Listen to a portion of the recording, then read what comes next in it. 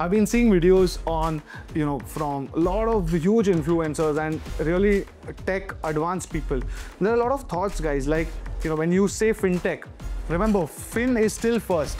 While AI and technology is going to be required, your fundamental knowledge of finance is still at the forefront, and then you learn how to apply the tools. If you think that just applying the tools will help you be ahead of the others, it might be only for a while before everybody figures it out. So always have technical domain knowledge, which is in this example, finance and accounts first, and then add the tech knowledge or the tech tools or AI understanding to it. Similarly, I saw on video of uh, Gary Vaynerchuk where he's explaining that. Oh, sorry, Mark Zuckerberg. I just saw it this morning.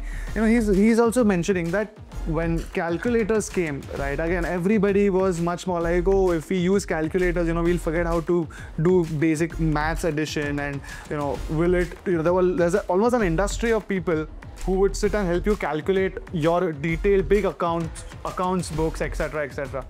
But you know, now those same guys would have used calculators and started doing bigger additions and started solving bigger problems with the same knowledge that those guys had. And we know the story, right? We know when horses went to cars and when the internet came about and you know when cash was going more and more into digital every single step people had a lot of concerns. But jobs don't get taken away. We know of course there'll be some who will. So if you are slow and you don't take advantage of these kind of warnings and videos to prepare yourself then of course you're going to be in trouble with or without ai coming in the picture because that's going to be your issue